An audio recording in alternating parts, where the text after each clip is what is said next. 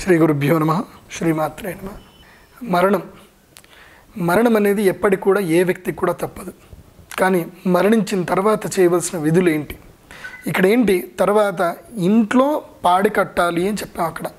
పాడి కట్టిన తర్వాత ఏంటి? వంట అనేది చేయకూడదు. ఇంట్లో ఎట్టి పరిస్థితిలో పావకాగ్నిని వెలిగించకూడదు. పావకాగ్ని అంటే ఏంటి? భోజనం చేసేటువంటి అగ్ని అంటారు. ఆ అగ్నిని వెలిగించకూడదు. అంటే ఇంటి లోపల ఎక్కడ కూడా అగ్గి వెలగకూడదు అనేది సారాంశం. తర్వాత పాడి కట్టిన తర్వాత శవాన్ని బయటకు తీసుకురావాలి. ఎప్పుడు సూర్యాస్తమం లోపలనే జరగాలన్న విషయం నేను మీకు ఇంతకు ముందే క్షుణ్ణంగా చెప్పాను.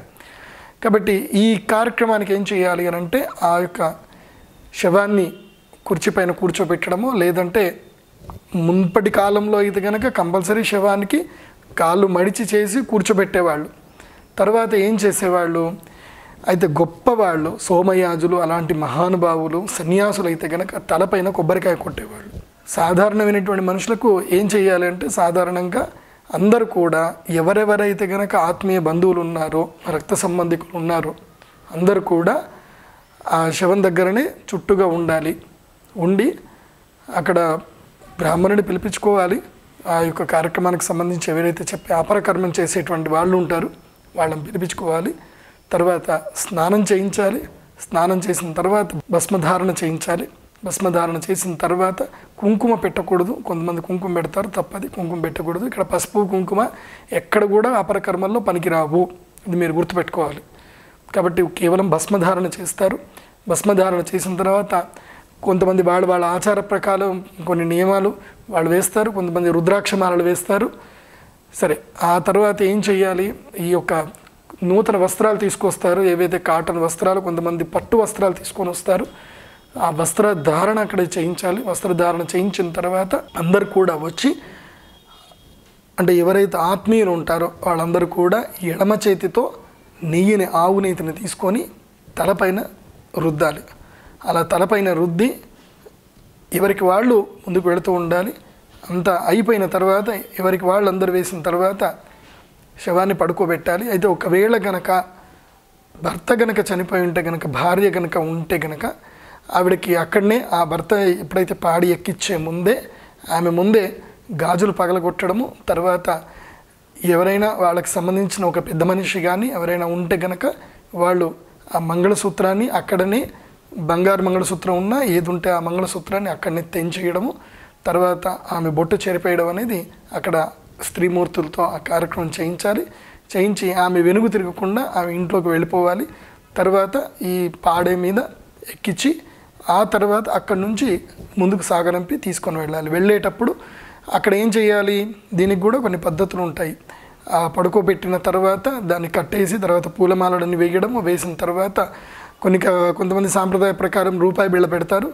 అది ఎంతవరకు సబబో మనకు కూడా తెలియదు అయితే ఆ, తర్వాత ఏంటి అంటే కనుక ప్రదక్షిణగా వెళుతూ ఆ శవానికి నాలుగు చో- చోటలు అంటే నాలుగు మూలల్లో బియ్యం అనేది వేయాలి. వేసిన తర్వాత శవాన్ని పాడి మోస్తూ తీసుకొని వెళ్ళాలి.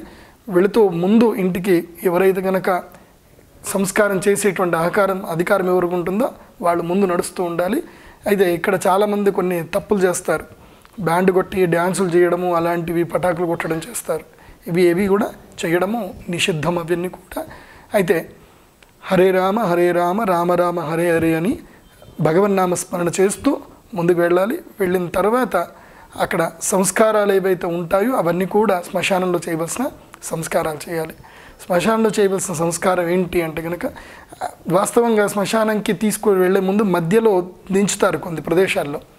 కాకపోతే శాస్త్ర ప్రకారం ఏంటంటే కనుక దించకూడదు అనేది నియమం ఉంది. ఎక్కడ ఊరి పొలిమేర వరకు దించకూడదు. ఒకవేళ కనుక దూరం ఉంది అని అంటే ఊరి పొలిమేరల్లో దించవచ్చు. దించి ప్రతి చోట నడుస్తూ అక్కడ అక్కడక్కడ తర్పణాలు వదులుతూ ఉండాలి. దానికి సంబంధించిన విధి విధానం కూడా చెబుతారు మీకు. కార్యక్రమాలు చేసేటువంటి బ్రాహ్మణులు అయితే చెప్తారు. అయితే ఇక్కడ అర్థం అవ్వడానికి నేను చెప్తున్నాను. ఏంటంటే కనుక ఆ శవానికి పడుకోబెట్టిన తర్వాత నాలుగు మూలల్లో ఇవి వేసి ఒక వృత్రాకార మండలం వేస్తారు. మండలం వేసి ఇక్కడ శవాన్ని పెట్టినట్టుగా ఒక మండలం అనేది వేస్తారు.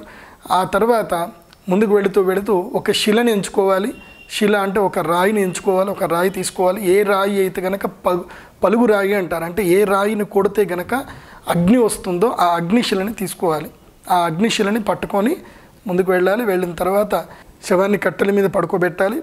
పెట్టిన తర్వాత ఇక్కడ ఏం చేస్తారు అని అంటే ముఖ్యంగా ప్రదక్షిణ చేస్తారు. ఈ ప్రదక్షిణ చేసేటప్పుడు ఆ యొక్క కుండను పగలగొడుతూ ఉంటారు. కొంతమంది కొడవలతో పగలగొడతారు. వాస్తవంగా చెప్పాలంటే కనుక శిలతో పగలగొట్టాలి. శిల అని చెప్పాను కదా ఆ శిలతో పగలగొట్టాలి. మూడు ప్రదక్షిణలు చేసిన తర్వాత శిలతో పగలగొట్టిన తర్వాత కుండను వెనుకకు పాడేసి తర్వాత వెనుదిరిగి చూడకుండా ఆ యొక్క అగ్నిని తీసుకొని తల కింద ఉన్నటువంటి భాగం లోపల అగ్నిని అక్కడ ప్రజ్వలించి తర్వాత ఆనా ఆకారం అంటే ఓ అని చెప్పి అరుచుకుంటూ ముందుకు వెళ్ళిపోవాలి. ఇలా వెళ్ళిపోయి తిరిగి చూడకుండా అక్కడనే ప్రశాంతంగా కూర్చోవాలి. ఎప్పటి వరకు అయితే గనక కపాలము అంటే తల పగిలే వరకు అక్కడనే ప్రశాంతంగా ఉండాలి. ఆ తల పగిలిపోయిన శబ్దం వచ్చిన తర్వాత అంటే కపాల మోక్షము అని అంటారు. ఈ కపాల మోక్షం వచ్చిన తర్వాత శ్మశానం నుంచి వెను తిరగకుండా బయలుదేరాలి. ఎప్పుడు కూడా శ్మశానం నుంచి బయలుదేరిన తర్వాత వెనుకకు తిరిగి చూడకూడదు అనేది నియమం.